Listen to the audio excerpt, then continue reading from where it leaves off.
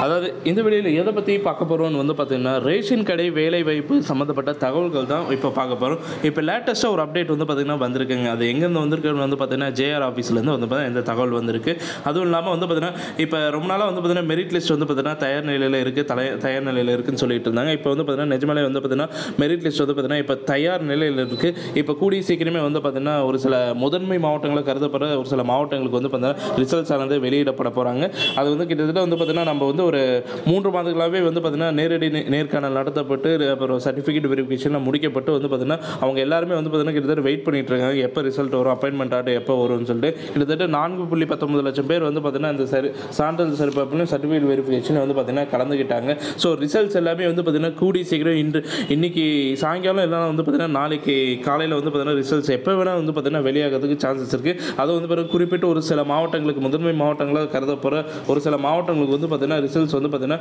கூடிய சீக்கிரம் வெளியாகிறதா வந்து பார்த்திங்கன்னா ஜேஆர் ஜேஆர் ஆஃபீஸில் வந்து பார்த்திங்கன்னா தகவல் வந்து பார்த்திங்கன்னா வெளியே இருக்குது மேலும் வந்து பார்த்திங்கன்னா இந்த ரிசல்ட்ஸ் எல்லாமே வந்து பார்த்திங்கன்னா ஒரு எஸ்எம்எஸ் மூலயமாவும் லெட்டர் மூலயமாவும் டிஆர்பி வெப்சைட் மூலயமா வந்து பார்த்திங்கன்னா ரிசல்ட்ஸ் ஆனது வெளியிடப்படும் சொல்லி வந்து பார்த்தீங்கன்னா ஒரு